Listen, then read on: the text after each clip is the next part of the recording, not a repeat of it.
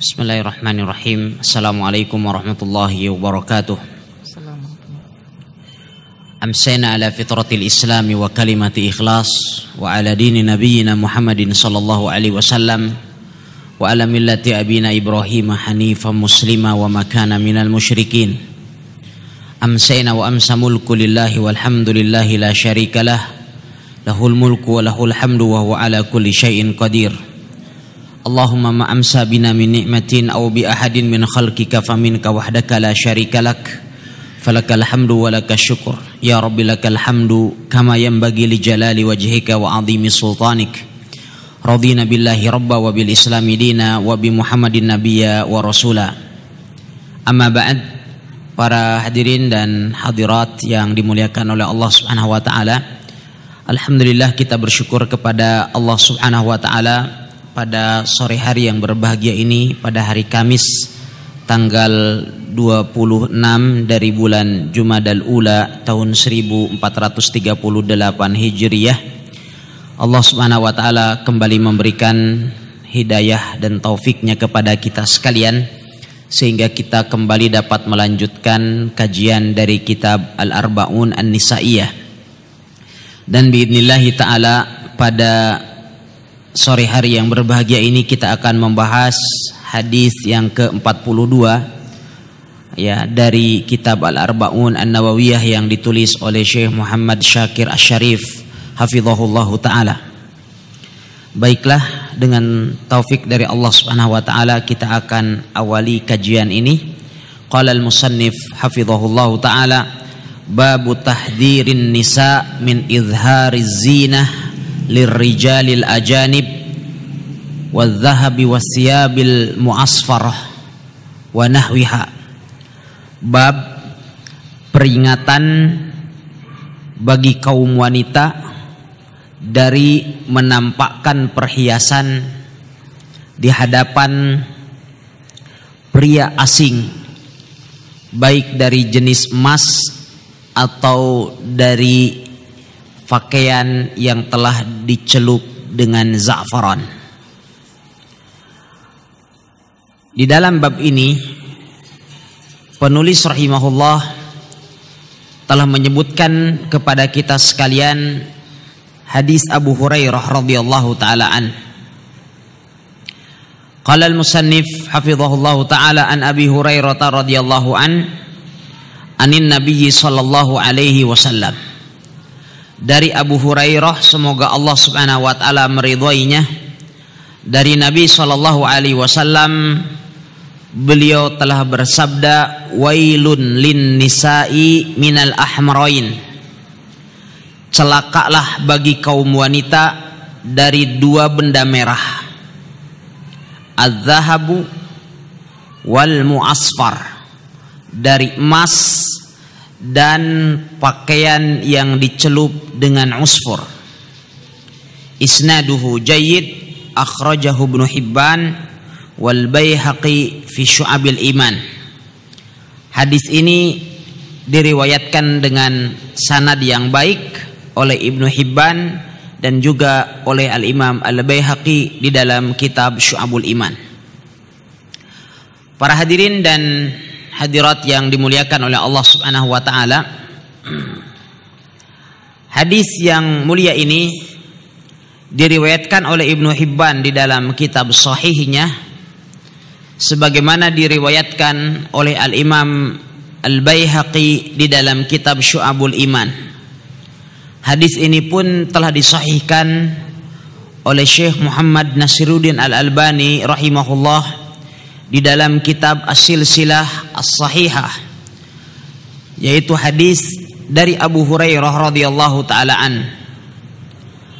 Dan maknanya secara global adalah seperti yang dikatakan oleh Al-Imam Al-Munawi di dalam kitab Faidul Qadir ya beliau mengatakan maknanya adalah hadis ini merupakan ancaman bagi kaum wanita yang berhias dengan menggunakan emas atau pakaian yang telah dicelup dengan za'faran. Lalu ia kemudian bersolek dan berhias di hadapan laki-laki yang tidak dihalalkan baginya sebagaimana sering kita dapatkan dilakukan oleh kaum wanita kontemporer sehingga kaum pria terfitnah dengannya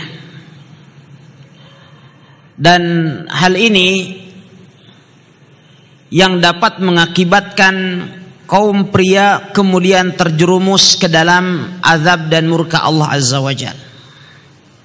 Bahkan di dalam sebuah hadis yang diriwayatkan oleh Ibnu Hajar Al-Haythami dalam kitab Az-Zawajir an Iqtirafil Kabair dari hadis Abu Umamah radhiyallahu taala an. Hanya sannya hadis ini adalah hadis yang sangat lemah cuman patut untuk dijadikan sebagai peringatan bagi kita sekalian di mana di dalamnya disebutkan bahwa Nabi Shallallahu alaihi wasallam telah masuk atau telah ditampakkan kepada beliau surga. Uritu anni dakhaltul jannah. Telah ditampakkan kepadaku bahwa aku masuk ke dalam surga. Artinya Rasulullah bermimpi. Dan kemudian beliau melihat di dalam mimpinya itu beliau masuk ke dalam surga. Faida faida a'alil jannah ahlul jannati fuqara'ul muhajirin wa mu'minin tiba-tiba aku mendapatkan bahwa kebanyakan penghuni surga itu dari kalangan fuqara kaum muhajirin dan orang-orang yang lemah dari kaum mukminin. Wa id wa idza laisa fiha ahadun aqallu minal aghniya'i wan nisa. Namun aku perhatikan bahwa tidak ada orang yang lebih sedikit di dalam surga itu kata beliau tidak ada yang lebih sedikit dari golongan orang-orang yang kaya dan kaum wanita. Faqila li lalu kemudian dikatakan kepadaku ammal agniya fa innahum alal babi yuhasabuna wa yumahsun. Adapun orang-orang kaya karena mereka itu tertahan di pintu surga. Dan karena mereka harus melewati proses hisab dan perhitungan. Wa amman nisa adapun kaum wanita fa'alhahun zahab wal harir. Karena mereka telah banyak ya telah banyak dilalaikan dengan emas dan pakaian sutra hadis ini menguatkan apa yang disebutkan oleh penulis rahimahullah di dalam hadis yang diriwayatkan oleh Ibnu Hibban ini bahwa Nabi Shallallahu Alaihi Wasallam beliau bersabda wailun lin nisa'i minal ahmarain. Walaupun riwayat hadis dari Abu Umamah yang diriwayatkan oleh Ibnu Hajar Al Haythami tadi hadisnya dhaif. Tetapi ini cukup menguatkan apa yang disebutkan di dalam hadis bab ini ikhwatal iman yang dimuliakan oleh Allah Subhanahu wa taala hadis yang mulia ini menjelaskan kepada kita sekalian tentang larangan atau peringatan yang sangat keras dari Nabi Shallallahu Alaihi Wasallam bagi kaum wanita agar mereka tidak menampakkan perhiasan mereka di hadapan laki-laki yang tidak dihalalkan bagi mereka. Oleh sebab itu Nabi Shallallahu Alaihi Wasallam menggunakan kata ancaman wail yang artinya celakalah. Sebagian ahli tafsir dan ulama hadis mengatakan bahwa Wail adalah nama bagi sebuah lembah yang ada di dalam neraka jahanam. Namun kedua-duanya mengisyaratkan bahwasannya Wail ini kalimat yang mengandung ancaman keras. Dalam hadis yang mulia ini Nabi Shallallahu Alaihi Wasallam beliau bersabda, "Wailun lin nisa, celakalah bagi kaum wanita minal ahmarain dari atau di, di, dikarenakan dua benda merah yaitu emas dan pakaian yang dicelup dengan za'afaran. Ya, ikhwatal iman yang dimuliakan oleh Allah Subhanahu wa taala. Islam sangat memperhatikan kaum wanita dan tidak ada agama yang lebih memperhatikan kaum wanita selain daripada Islam. Sebagaimana agama kita yang mulia telah menjelaskan kepada kita sekalian tentang batasan-batasan hukum yang berkenaan dengan kaum wanita. Dan secara fitrah dan tabiat kaum wanita bahwa kaum wanita lebih mencintai perhiasan dan pakaian daripada kaum pria. Dan ini adalah merupakan sebuah fitrah dan bawaan kepribadian dari kaum wanita. Oleh sebab itu, agama kita lantas kemudian datang dengan tidak memerangi fitrah ini.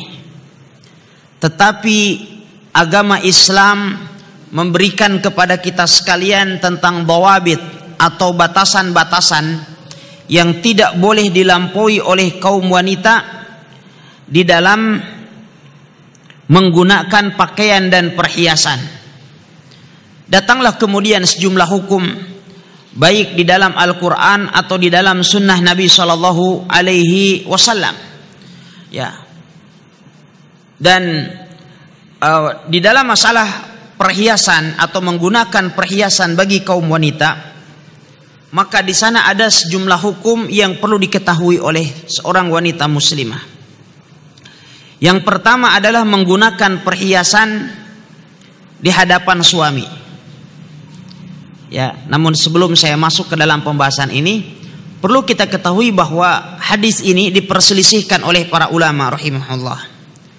Hadis Abu Hurairah radhiyallahu taala anhu yang diriwayatkan oleh Al Imam Ibnu Hibban dan diriwayatkan pula oleh Imam Baihaqi ini yang disahihkan oleh Syekh Albani yaitu hadis bab hadis yang ke-42. Menurut sebagian ulama hadis ini mansuh hadis ini dihapuskan karena sudah merupakan sesuatu yang disepakati oleh seluruh ulama bahwasannya emas dan asyab al-muasfar pakaian yang telah dicelup dengan usfur atau za'faran dihalalkan bagi kaum wanita. Sehingga hadis ini menurut sebagian ulama hukumnya mansuh, artinya telah dihapuskan dengan hadis-hadis yang memperbolehkan akan hal itu. Pendapat yang kedua dari kalangan para ulama bahwa hadis yang mulia ini tidaklah mansuh tetapi hadis yang mulia ini menjelaskan kepada kita sekalian bahwasannya hadis yang mulia ini merupakan peringatan bagi wanita yang menggunakan perhiasan bukan pada tempatnya. Dan ini adalah merupakan pendapat yang rojih dalam masalah ini. Ya, bahwa bukan berarti emas dan pakaian yang muasfar dihalal diharamkan bagi wanita Justru kita katakan itu merupakan sesuatu yang dihalalkan dan disepakati oleh para ulama. Hanya saja ketika penempatannya tidak sesuai ya dipakai di hadapan laki-laki yang tidak dihalalkan baginya, maka inilah yang uh, tidak di, diperbolehkan. Kemudian berikutnya, perhiasan bagi kaum wanita memiliki beberapa hukum. Yang pertama adalah perhiasan di hadapan suami. Ya, bagaimana batasannya? Allah Subhanahu wa taala telah memperbolehkan bagi seorang wanita untuk menampakkan perhiasannya di hadapan suaminya.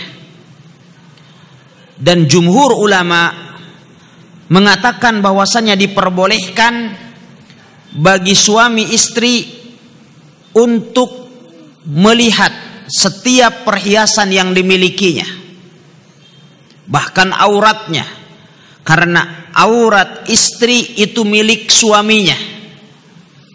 Sehingga kemudian kalau seandainya auratnya boleh dilihat oleh suaminya maka apalagi perhiasannya? Bahkan agama kita menganjurkan kepada kaum wanita untuk pandai berhias di hadapan suaminya. Hal itu sebagaimana di dalam hadis Abu Umamah radhiyallahu taala anhu beliau telah meriwayatkannya dari Nabi sallallahu alaihi wasallam bahwa Nabi sallallahu alaihi wasallam beliau bersabda mastafadal mu'min ba'da taqwallahi khairan lahu min zaujatin salihah tidak ada sesuatu yang lebih baik bagi seorang mukmin setelah ia memperoleh ketakwaan daripada memperoleh seorang wanita yang salihah. In amaraha atau athu jikalau ia memerintahkannya atau memerintahnya ia mentaatinya. Wa in nadhara ilaiha sarathu jikalau sang suami tadi melihat kepada istrinya istrinya tersebut membuat dia bahagia wa in aqsama alaiha abarathu. Jikalau dia bersumpah bagi wanita tersebut maka dia memenuhi sumpahnya.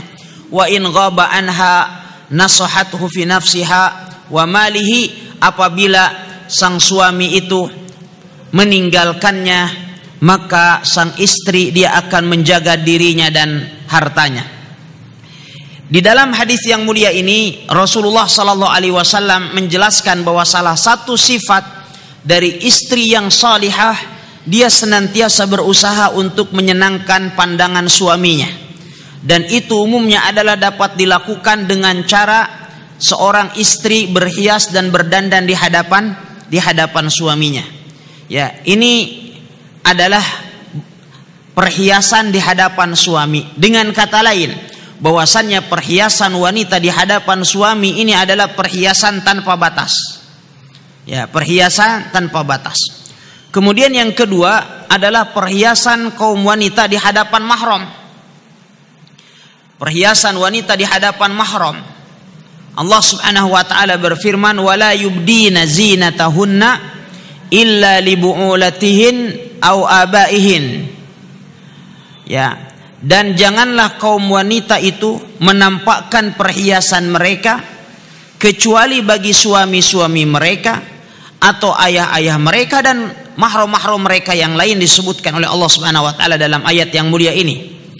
Sehingga kemudian seorang wanita diperbolehkan untuk menampakkan sebagian dari perhiasannya di hadapan mahramnya hanya saja para ulama rahimahumullah taala telah berbeda pendapat tentang perhiasan yang boleh ditampakkan di hadapan mahramnya. Ya. Apakah hal itu diperbolehkan untuk ditampakkan seluruhnya sebagaimana ditampakkannya di hadapan suaminya? Ataukah kemudian ada batasan antara dirinya dengan mahramnya? yang tidak sama dengan suaminya. Di dalam madhab Imam Abu Hanifah bahwasannya aurat seorang wanita di hadapan mahramnya adalah ya bagian punggung dan perutnya dan apa yang terletak di antara pusarnya dengan lututnya ya ini yang tidak diperbolehkan untuk dilihat oleh mahram. Punggung, bagian depan perut, demikian juga antara antara surah warukbah antara pusar dengan uh, dengan lutut. Wa ala hadza yubahu laha an tubdiya jami'a zinatal batina amamahun. Oleh sebab itu diperbolehkan menurut madhab Imam Abu Hanifah untuk menampakkan perhiasan-perhiasan dalam ya termasuk di antaranya adalah anggota tubuhnya ya baik itu misalnya rambutnya kemudian e, betisnya telapak kakinya selain punggung kemudian perut kemudian anggota tubuh yang terletak di antara di antara pusar dengan uh, dengan lutut. Ini di dalam madhab Imam Abu Hanifah rahimahullahu taala. Sementara di dalam madhab Al-Maliki di dalam madhabul Maliki atau madhab Imam Malik dan Imam Ahmad serta Imam Syafi'i dalam satu riwayat bahwa aurat seorang wanita di hadapan mahram-mahramnya itu adalah selain wajah dan uh, selain wajah dan telapak kaki. Demikian juga rambut dan semisalnya. Sehingga di dalam madhab Imam Syafi'i termasuk juga Imam Imam Malik dan Imam Imam Ahmad bahwa ya diperbolehkan untuk atau selain daripada itu maka harus harus ditutup. Dan di dalam riwayat Imam Syafi'i yang lain bahwasannya yang termasuk ke dalam kategori aurat seorang wanita di hadapan mahramnya adalah hanya antara pusar dengan dengan lututnya ya. Sehingga dengan demikian setiap perhiasan yang terletak di, di luar itu diperbolehkan ya. Warajihullahu taala alam adalah pendapat jumhur ya. Bahwa perhiasan seorang wanita dan anggota tubuh yang diperbolehkan untuk ditampakkan di hadapan mahramnya adalah bagian anggota tubuh yang biasa tampak apabila apabila seorang wanita mengerjakan pekerjaan-pekerjaan rumahnya. Dan ini adalah merupakan pendapat jumhur. Wallahu taala alam. Ikhwatal iman yang dimuliakan oleh Allah Subhanahu wa taala. Kemudian berikutnya yang ketiga adalah perhiasan seorang wanita muslimah di hadapan wanita muslimah lainnya. Ya. Para ulama rahimahumullah taala di dalam masalah ini juga mereka berbeda pendapat. Jumhur ulama dari madhab Imam Abu Hanifah, Imam Malik, Imam Syafi'i dan Imam Ahmad. Empat madhab ini mengatakan bahwa diperbolehkan bagi seorang wanita untuk menampakkan seluruh perhiasannya yang tersembunyi selain apa yang terletak di antara lutut dengan pusarnya. Maka ini adalah merupakan pendapat jumhur ulama di dalam masalah ini. Dan di sana ada pendapat yang lain sebagian dari madhab Imam Syafi'i rahimahullah dan juga satu riwayat di dalam madhab Imam Abu Hanifah ya bahwa diperbolehkan bagi seorang wanita muslimah untuk menampakkan atau untuk memperlihatkan sebagai ya seluruh atau hampir seluruh dari uh, apa namanya perhiasan baik perhiasan luar atau perhiasan dalam di hadapan wanita muslimah yang lainnya tetapi pendapat ini adalah pendapat yang saz pendapat yang menyelisihi pendapat jumhur dan yang rojih dalam masalah ini adalah pendapat jumhur ulama. Dan masalah yang keempat adalah masalah perhiasan seorang wanita muslimah di hadapan wanita-wanita kafir. Baik dari kalangan ahlul kitab atau dari kalangan al-musyrikat secara secara umum atau kafirat secara umum. Hal ini pun tidak luput dari perbedaan pendapat para ulama dan di sana ada empat pendapat para ulama rahimahumullah. Pendapat yang pertama adalah pendapat di dalam madhab Imam Abu Hanifah bahwa apabila wanita yang dimaksud itu adalah dari kalangan ahlu zimmah maka aurat wanita muslimah di hadapan mereka seperti aurat seorang wanita di hadapan laki-laki yang asing baginya. Ini di dalam madhab Imam Abu Hanifah. Sehingga tidak diperbolehkan untuk menampakkan perhiasan luar atau perhiasan dalam. Perhiasan luar adalah aksesoris tubuh, perhiasan dalam adalah tubuh itu sendiri. Kemudian berikutnya di dalam madhab Imam Malik bahwa aurat wanita muslimah di hadapan wanita kafir adalah seluruh tubuhnya kecuali wajah dan kedua telapak tangannya kecuali jikalau wanita kafir tersebut sebagai hamba sahayanya maka auratnya berarti antara pusarnya dengan lututnya Ini di dalam madhab Imam Imam Malik bin Anas rahimahullah. Adapun di dalam madhab Imam Syafi'i bahwa seorang wanita muslimah wajib berhijab di hadapan wanita kafirah sehingga tidak diperbolehkan untuk menampakkan perhiasannya sedikit pun juga di hadapan wanita-wanita kafirah. Ya. Dan sehingga dengan demikian mereka melarangnya kecuali diperbolehkan bagi seorang wanita muslimah untuk menampakkan sebagian dari auratnya atau perhiasan di hadapan wanita kafirah di saat ia bekerja. Tetapi apabila di luar itu maka tidak diperbolehkan. Ya.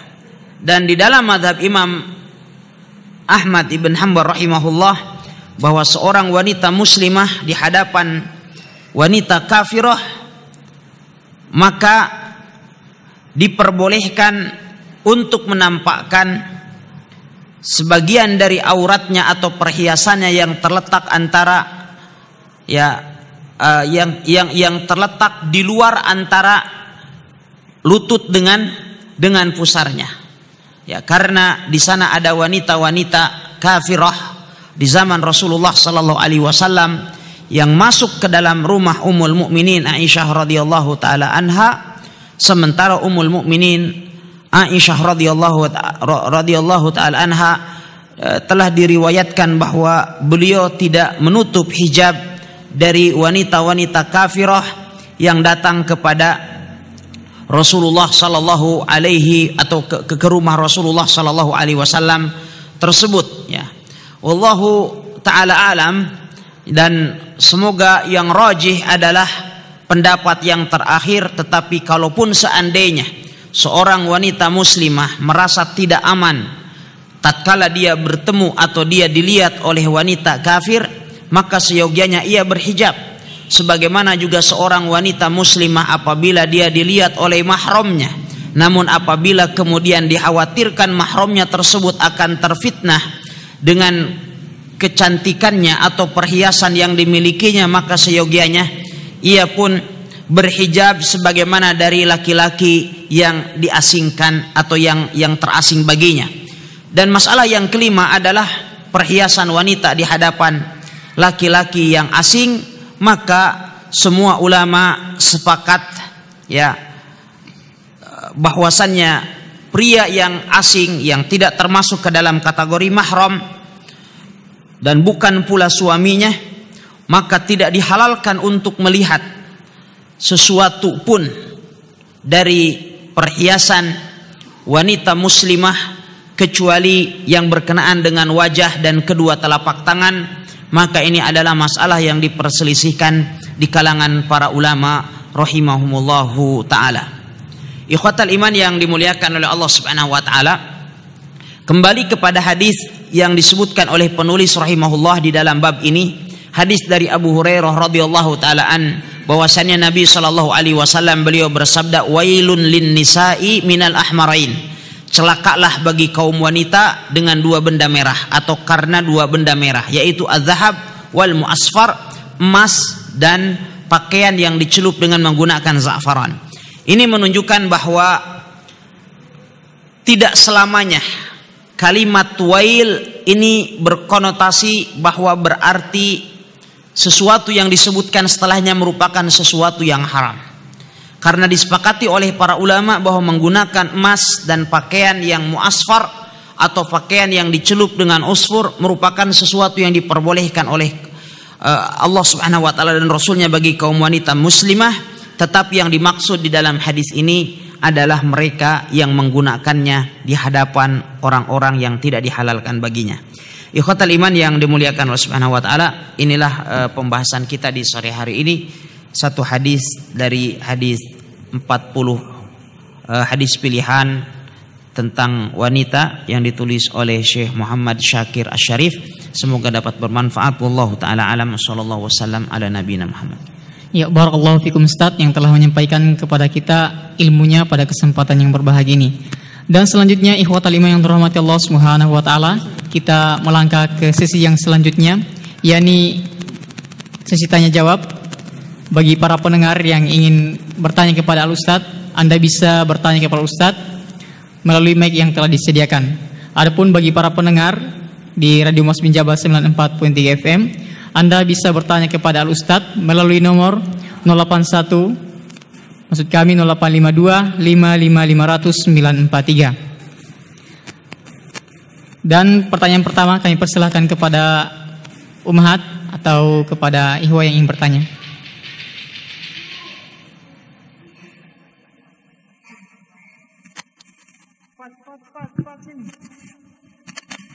Jika belum ada, kami angkat pertanyaan dari pesan singkat. Datangnya dari 0823 1974 sekian sekian sekian. Assalamualaikum Ustaz. Waalaikumsalam warahmatullahi wabarakatuh. Saya dari hamba Allah dari Ponidaha. Ustadz, Ana mau bertanya, bagaimana hukumnya kita berboncengan naik motor bersama laki-laki yang belum jadi suami kita, tapi Ana sudah dikitbah olehnya. Taib alhamdulillah wassalatu wassalam ala Rasulillah wa ala alihi wa sahbihi wa mawalah. Amma ba'd khitbah atau pelamaran dan tunangan ini tidak merubah hukum syar'i. Ya, tidak merubah hukum syar'i. Jadi status seorang wanita muslimah yang telah dikhitbah atau dilamar statusnya sama seperti wanita yang lainnya. Hanya saja dia telah mendapatkan janji dari seorang pria yang akan menikahinya bahwa wanita tersebut akan dinikahi. Adapun status hukumnya maka dia sama dengan wanita-wanita yang belum dihalalkan baginya. Sehingga dengan demikian dia tidak diperbolehkan untuk berboncengan tidak diperbolehkan untuk bersentuhan, tidak diperbolehkan untuk berkhulwah dan semisalnya. Karena laki-laki yang telah menghitbah Anda tersebut adalah merupakan laki-laki yang asing bagi Anda sehingga dengan demikian hal itu perlu untuk dihindari wallahu taala alam.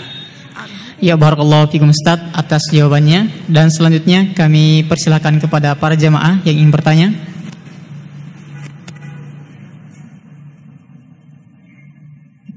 Jika belum ada, kami angkat pertanyaan dari pesan singkat. Datangnya dari 0856 9616 sekian sekian sekian. Bismillah, Assalamualaikum warahmatullahi wabarakatuh Ustaz. Waalaikumsalam warahmatullahi wabarakatuh. Bagaimana menasihati seorang istri di mana ada yang mengeluhkan jenggot suaminya apabila bercumbu? Mohon nasihatnya Ustaz.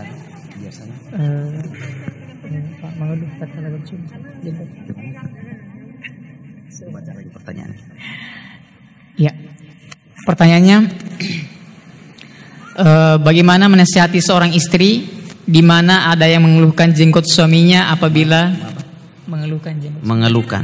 Ya. Nah. Mengeluhkan jenggot suaminya apabila bercumbu. Mohon nasihatnya Ustaz. Ya tidak apa-apa, mengeluhkan. Mengeluhkan artinya mengusap. Ya. Mengusap-usap menjadikan jenggot ini adalah sebagai mainan. Ya, kecuali kalau dia adalah mengejek maka ini tidak diperbolehkan. Ya tapi kalau mengeluhkan mengelu-elukan berarti dia mendambakan. Ya. Dan jenggot ini adalah salah satu juga media permainan. Ya oleh sebab itu Nabi Musa alaihi salam mempermainkan jenggotnya Firaun. Ya sehingga menariknya dan membuat Firaun kemudian marah saat itu Ya demikian juga terkadang suami istri. Ya. Dan jenggot adalah salah satu perhiasan bagi kaum pria yang menunjukkan kejantanan, menunjukkan ciri kelelakiannya itu ada pada janggutnya. Ya. Seperti seekor singa seekor sika singa jantan itu dia akan tampak ya menyeramkan tampak gagah apabila dia berjanggut. Tetapi coba singa jantan jenggotnya dicukur. Apa jadinya? Ya maka dia adalah tidak tampak lagi kejantanannya. Maka demikian pula dengan kaum pria. Oleh sebab itu syariat kita melarang kaum pria untuk mencukur janggutnya wallahu taala alam. Ya, barakallahu fikum Ustaz atas jawabannya dan pertanyaan selanjutnya kami persilahkan kepada jamaah.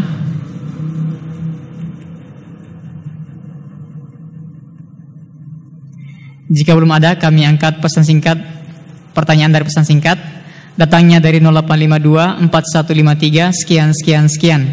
Assalamualaikum Ustaz. Waalaikumsalam warahmatullahi wabarakatuh. Hukum bercadar adalah sunnah muakkadah bagi bagaimana kalau orang bercadar tapi tidak istiqomah? Kadang dipakai, kadang tidak. Ya sekarang apa hukumnya kalau seandainya anda berpendapat itu adalah sunnah muakkadah apakah lantas tidak diperbolehkan untuk melaksanakan saum uh, untuk melakukan sesuatu yang sunnah muakadah tetapi tidak istiqomah. Sekarang apa hukumnya seorang yang melaksanakan sholat sunnah rawatib? Terkadang dia melakukannya, terkadang dia tidak melakukannya. Mana yang lebih baik? Orang yang tidak melakukannya sama sekali atau orang yang terkadang melakukannya, terkadang tidak? Maka seyogianya akhwat yang seperti itu tidak dicela. Tetapi diberikan motivasi untuk istiqomah. Ya, sama orang misalnya melaksanakan sholat sunnah rawatib. Terkadang dia melakukannya, terkadang dia meninggalkannya. Tatkala meninggalkannya, bukan kemudian dia dicela seakan-akan akhwat atau seakan-akan orang ini bermasalah. Tetapi kemudian bagaimana supaya dimotivasi agar dia beristiqomah. Demikian juga misalnya seorang akhwat yang menutup wajahnya kalau seandainya kita mengatakan hukumnya adalah sunnah muakkadah. Kalau seandainya kita mengatakan atau mengambil pendapat hukumnya sunnah muakkadah, maka akhwat yang seperti ini lebih baik daripada yang tidak menutupnya sama sama sekali. Dan kita diperintahkan oleh Allah Subhanahu wa taala untuk bertakwa kepada Allah Azza wa Jal dengan sebatas optimal kemampuan kita wallahu taala alam. Ya barakallahu fikum Ustaz atas jawabannya dan selanjutnya kami bacakan kembali pertanyaan dari pesan singkat datangnya dari 0811 4095 sekian sekian sekian. Assalamualaikum warahmatullahi wabarakatuh Ustaz. Waalaikumsalam warahmatullahi wabarakatuh. Bagaimana hukumnya menampakkan rambut kepada suami adik sendiri yang mana suami adik atau ipar ini merasa seperti saudara sendiri. Nah, tidak diperbolehkan untuk menampakkan rambut di hadapan ipar. Karena ipar adalah orang asing bagi seorang wanita muslimah. Ya, dan Nabi Shallallahu alaihi wasallam beliau telah ditanya, "Ara'aitumul hamu?" Wahai Rasulullah, bagaimana menurut Anda tentang ipar? Rasul Shallallahu Alaihi Wasallam kemudian bersabda alhamu al maut ipar itu adalah kematian artinya seorang wanita muslimah tetap harus berhijab di hadapan iparnya apa pun alasannya sekalipun dia telah memandang bahwa iparnya itu tidak lain adalah adiknya tetap dalam masalah menutup aurat dan dan hubungan yang lain dia adalah merupakan laki-laki yang asing baginya wallahu taala alam. Ya, baik, barakallahu fikum dan selanjutnya kami persilakan kepada jemaah yang ingin bertanya.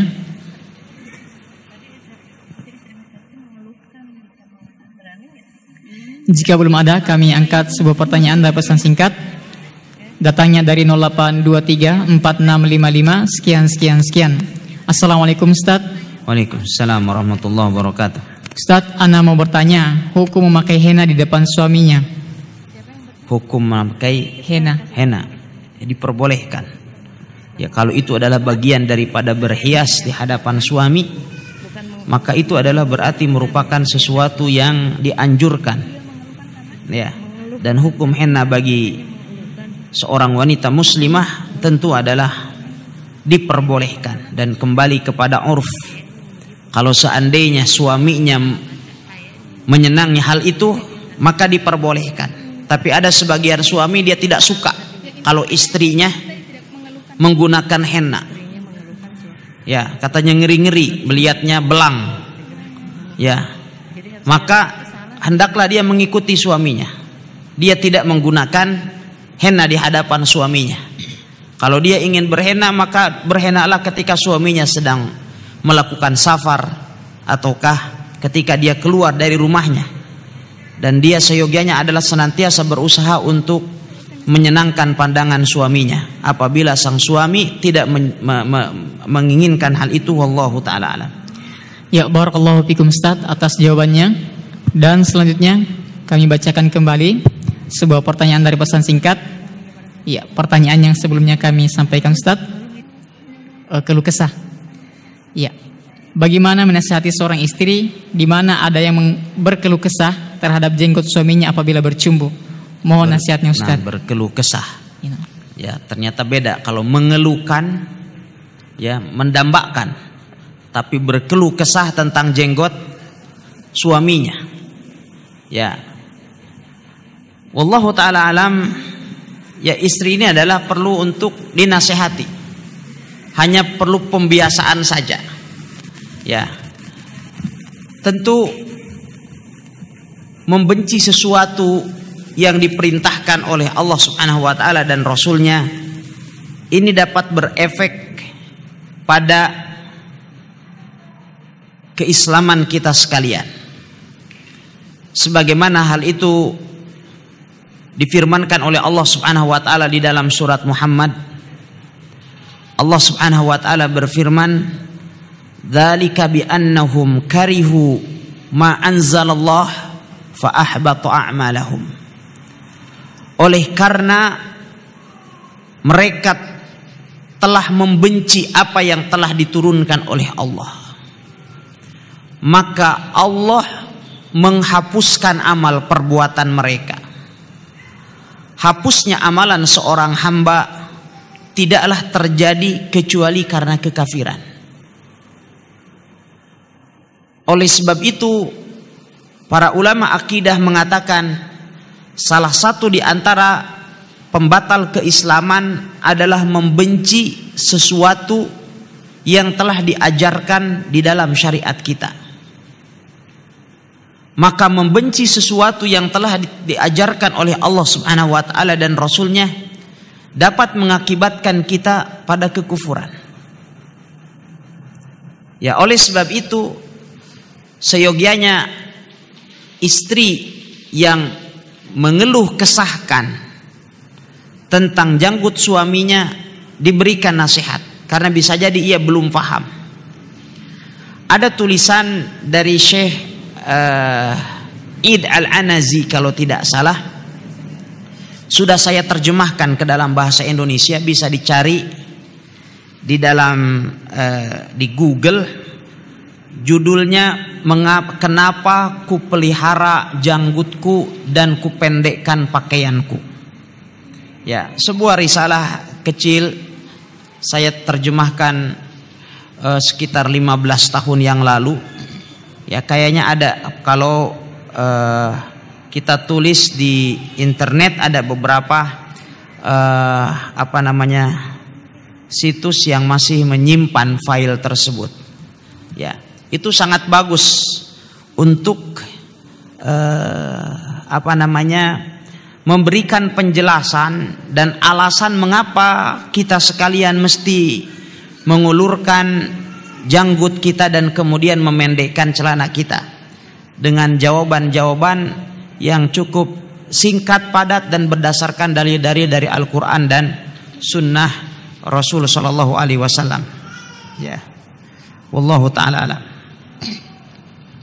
Ya, barakallahu fikum Ustaz atas jawabannya dan selanjutnya kami persilakan kepada jamaah yang ingin bertanya. Bismillahirrahmanirrahim. Assalamualaikum warahmatullahi wabarakatuh. Waalaikumsalam warahmatullahi wabarakatuh. Uh, saya mau bertanya Ustadz, uh, awal saya mulai masuk kuliah, alhamdulillah saya telah hijrah dan saya uh, menggunakan jilbab syari dan mulai belajar, belajar mengikuti-ikuti kajian dan saya ingin memeluk Islam secara kafah. Akan tetapi kedua orang tua saya uh, sangat menentang keras dengan perubahan saya dan tidak mengizinkan saya untuk menggunakan jilbab besar. Mereka menginginkan saya menggunakan jilbab yang sepinggang seperti itu. Akan tetapi saya merasa aurat saya tidak tertutup secara sempurna. Karena apalagi pada saat itu terkadang kaki itu terbentuk seperti itu Ustadz, maka saya uh, tidak menerima dengan apa yang mereka uh, perintahkan. Dan karena itu Ustadz, uh, ayah saya sampai sekarang marah dan tidak mau menegur saya karena perubahan saya. Jadi bagaimana Ustadz? Apakah saya harus mengikuti apa yang orang tua saya perintahkan atau saya tetap seperti ini? Terima kasih. Syukran. Alhamdulillah wassalatu wassalam ala Rasulillah wa ala alihi wa sahbihi wa mawalah. Amma ba'd. Rasulullah sallallahu alaihi wasallam beliau telah bersabda sayati alaikum zamanus sabr. Al-qabidu ala dinihi kal qabidu alal jamr. Niscaya akan datang kepada kalian masa-masa kesabaran. Artinya masa di mana kita membutuhkan kesabaran yang ekstra tinggi. Baik kesabaran di dalam melaksanakan perintah Allah atau kesabaran di dalam menjauhkan diri dari kemaksiatan atau kesabaran di dalam menghadapi musibah. Sehingga Nabi Shallallahu Alaihi Wasallam kemudian menggambarkan bagaimana bentuk kesabaran yang dihadapi saat itu. Beliau mengatakan al-qabidu ala dinihi kal qabidu alal jamr. Sehingga orang yang berpegang teguh kepada agamanya saat itu seperti orang yang memegang bara api. Orang yang memegang bara api bagaimana ia akan merasakan panasnya bara tersebut tetapi manakala bara itu dilepaskan, maka bara itu pun akan hancur. Oleh sebab itu, di saat kita berpegang teguh di zamanul gurbah, di zaman yang penuh dengan keasingan, memang sangat sulit dan berat untuk dihadapi. Oleh sebab itu pahalanya juga menjadi sangat besar di sisi Allah Subhanahu wa taala. Sehingga Rasulullah sallallahu alaihi wasallam beliau telah bersabda bada al islamu ghariban wa sayaudu kama bada fatuba lil Islam datang dengan penuh keasingan dan akan kembali menjadi asing di akhir zaman dan beruntunglah orang-orang yang asing itu. Siapa mereka? Rasulullah sallallahu alaihi wasallam beliau bersabda alladzina yasluhuna inda fasadin nas. Orang-orang yang asing itu adalah orang-orang yang tetap istiqomah di atas kebenaran di saat orang-orang lain dalam keadaan rusak. Oleh sebab itu Nabi Shallallahu Alaihi Wasallam beliau telah bersabda waditu an alqa ikhwani. Sungguh aku telah berkeinginan untuk berjumpa dengan saudara-saudaraku. Ya, Wadidtu law ra'aitu ikhwani. Sungguh aku telah berkeinginan untuk berjumpa dengan saudara-saudaraku. Saat itu kemudian para sahabat radhiyallahu taala anhum mereka bertanya kepada Rasulullah sallallahu alaihi wasallam ya ya Rasulullah alas nabi ikhwanik wahai Rasulullah bukankah kami ini saudara-saudaramu Kemudian Nabi Shallallahu Alaihi Wasallam beliau bersabda, bal antum ashabi. Akan tetapi kalian itu adalah sahabat-sahabatku. Wa ikhwanuna, sedangkan yang dimaksud dengan saudara-saudara kami kata Rasulullah, alladzina lam ya'tu ba'd, yaitu mereka yang belum datang saat ini, mereka yang tidak hidup pada zaman kenabian ini. Wa ana faratuhum 'alal haud, Sedangkan akulah yang nanti di akhirat kelak akan memberikan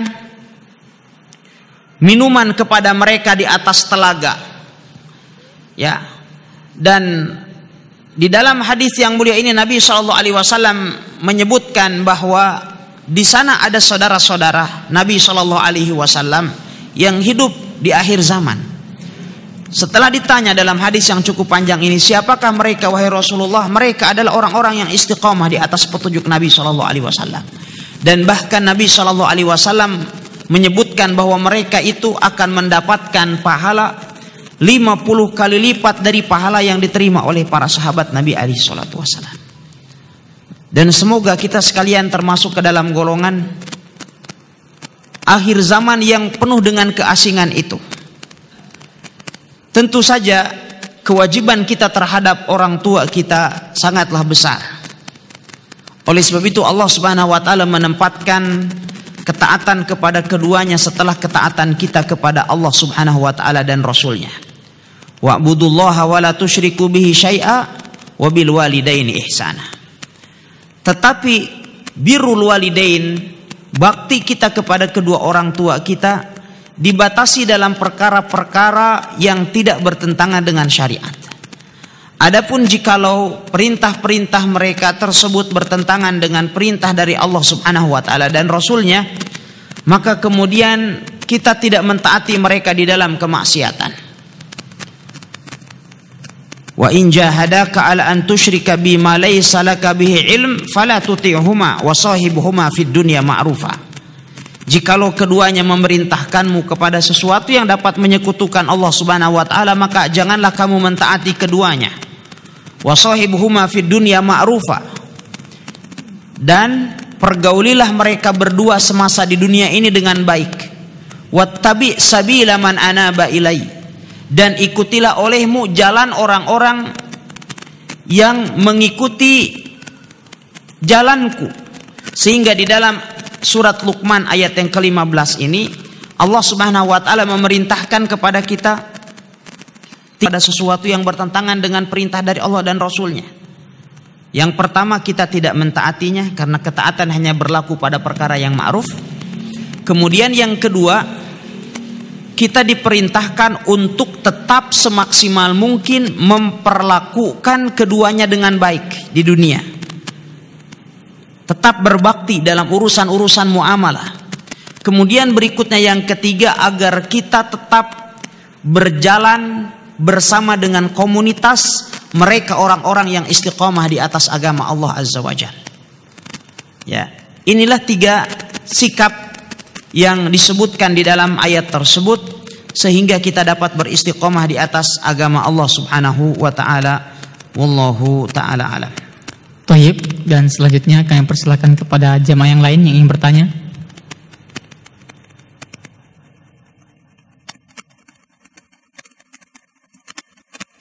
Jika belum ada, kami angkat pertanyaan dari pesan singkat. Datangnya dari 08 582511 sekian sekian sekian. Assalamualaikum Ustaz. Waalaikumsalam warahmatullahi wabarakatuh. Minta nasihatnya. Bagaimana hukumnya kita menikah sama laki-laki yang belum terlalu paham dengan agama, sementara kita perempuan sudah sedikit paham tentang agama. Syukron Ustaz. Nah, di dalam pembahasan kitab Bulughul Maram di pekan yang lalu kita telah jelaskan tentang hukum al-kafaah hukum kesepadanan di dalam pernikahan. Hukum asalnya bahwa kita tidak menikah kecuali dengan orang yang sepadan dengan kita. Baik dari segi nasabnya, dari segi agamanya, dari segi keturunan kedudukan dan semisalnya.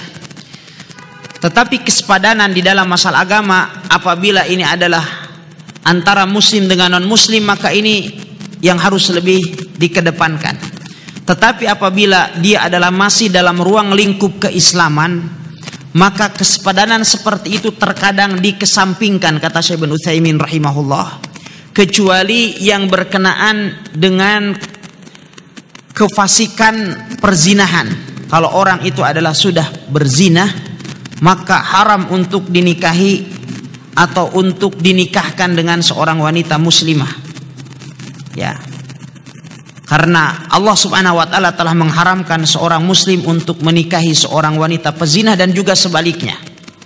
Tetapi seyogyanya kesepadanan di dalam masalah keistiqomahan diperhatikan. Terutama apabila seorang wanita muslimah hendak dinikahi oleh orang yang belum paham tentang agama ini. Karena suami nanti akan menjadi pembimbing, bagi wanita tersebut dan akan menjadi imam bagi dirinya dan anak keturunannya. Maka seyogianya apabila masih memungkinkan untuk mendapatkan suami yang lebih baik, maka seyogianya dia berusaha untuk mendapatkan suami yang lebih baik dari dari kualitas keimanan dan ketakwaannya kepada Allah Subhanahu wa taala. Terlebih wanita tersebut telah mengetahui banyak tentang petunjuk-petunjuk Allah Subhanahu wa taala dan rasulnya. Karena sering kali kemudian apabila ia menikah dengan orang yang belum faham justru akan melunturkan keistiqomahan yang telah ia bangun sebelumnya. Dan ini adalah merupakan bagian daripada bentuk kafaah yang perlu untuk dijaga wallahu taala alam. Tohi barakallahu fikum dan selanjutnya kami persilakan kepada jemaah yang ingin bertanya. Jika tidak ada, kami angkat pertanyaan dari pesan singkat. Datanya dari 0823 1974 sekian sekian sekian. Assalamualaikum warahmatullahi wabarakatuh Ustaz. Waalaikumsalam warahmatullahi wabarakatuh. Anda mau bertanya, bagaimana jika kita suami istri berbeda akidah? Apakah saya sebagai istri harus menghargai dan ikut-ikutan suami dan keluarganya apabila ada kegiatan yang tidak ada contohnya dari Nabi? Nah, perbedaan akidah dapat memiliki dua makna. Mana yang pertama suami berada di luar akidah Islam. Apabila sang suami berada di luar akidah Islam, maka tidak diperbolehkan bagi seorang wanita muslimah berada di bawah kekuasaan lelaki kafir atau menikah dengan lelaki kafir apa pun agamanya. Karena Allah Subhanahu wa taala berfirman lahunna hillul lahum wa lahum yahilluna lahun. Wanita-wanita muslimah tersebut tidak dihalalkan bagi orang kafir dan orang kafir tidak dihalalkan bagi wanita muslimah. Adapun jikalau makna yang kedua yang dimaksud dengan perbedaan akidah adalah perbedaan pemahaman dalam pemahaman Islam maka hukum asalnya dia masih dalam ruang lingkup sesuatu yang masih bisa ditolerir. Tetapi apabila kemudian ternyata sudah terjadi penyimpangan maka seyogianya kita tetap bersama dengan kebenaran selalu harus kita bedakan apakah perbedaan yang terjadi masih dalam ruang lingkup ikhtilaf atau sudah inhiraf. Jadi ada dua.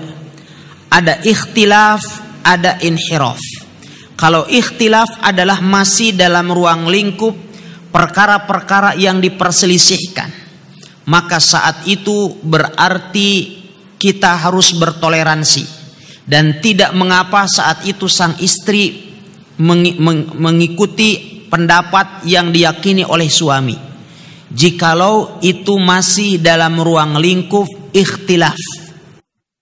Tetapi apabila jikalau perbedaan akidah yang dimaksud itu sudah masuk ke dalam ranah inhiraf, penyimpangan, sesuatu yang menyesatkan, maka saat itu tidak diperbolehkan untuk mengikuti pandangan suami karena sudah keluar dari ranah ikhtilaf tetapi sudah masuk ke dalam uh, penyimpangan dan kesesatan yang harus diamputasi.